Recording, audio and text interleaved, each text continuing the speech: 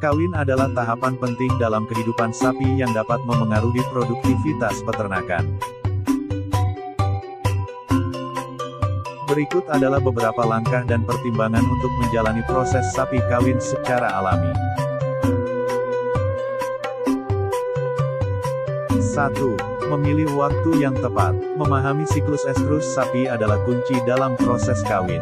Identifikasi tanda-tanda estrus, seperti perubahan perilaku, kenaikan aktivitas, dan perubahan pola makan.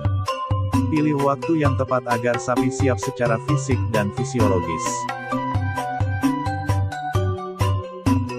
2. Pemilihan pasangan yang sesuai. Memilih sapi jantan yang memiliki kualitas reproduksi yang baik sangat penting.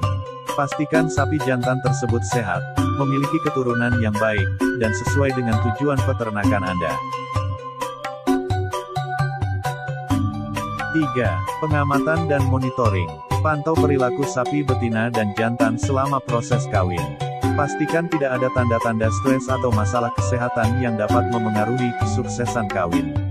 Observasi ini dapat dilakukan secara langsung atau dengan bantuan teknologi, seperti sensor kesehatan ternak. 4. Fasilitas yang memadai. Sediakan fasilitas yang nyaman dan aman untuk memudahkan proses kawin. Tempatkan sapi betina dan jantan dalam lingkungan yang tidak mengganggu dan mendukung interaksi alami antara keduanya. 5. Penanganan yang lemah lembut. Pendekatan yang lemah lembut selama proses kawin sangat penting. Hindari kekerasan atau tekanan berlebihan, karena dapat mengakibatkan stres pada sapi dan mengganggu kesuksesan kawin. 6. Monitoring pasca kawin. Setelah kawin berhasil, perhatikan tanda-tanda kehamilan pada sapi betina.